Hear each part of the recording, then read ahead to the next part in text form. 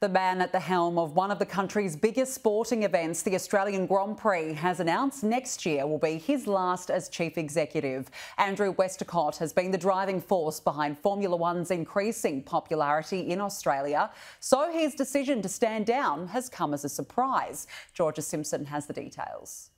Fast and Furious Formula One is as popular as ever. But the man in charge of the Australian Grand Prix, Andrew Westacott, has decided the time is right for him to stand down. The sport has only grown in popularity under his watch, so his announcement has come as a surprise.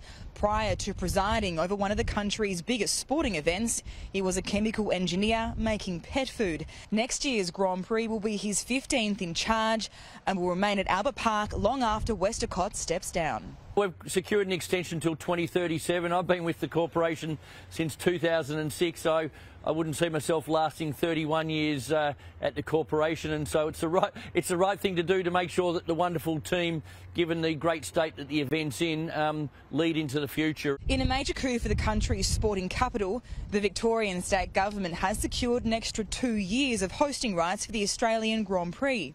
There's massive uh, competition for Formula One events around the world. There was going to be 24 races next year. There might still be, but China is uh, is now off the calendar, and uh, it's a massive coup for Victoria to keep it for so many years. The event brings in big bucks. It's expected to inject $170 million into the Victorian economy.